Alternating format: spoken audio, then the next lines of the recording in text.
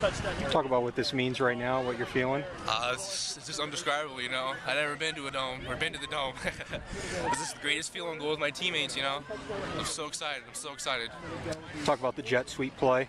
Um, uh, that was um, was pretty interesting. Um, Coach Schaefer kind of put it in kind of halfway through the year, and it's where me and John are both in the backfield, and it's really great because we're both great blockers and great, uh, both great runners, and we're both good at getting to the edge. And he set the whole thing up. I gave the whole credit to him. You know, couldn't have done it without him.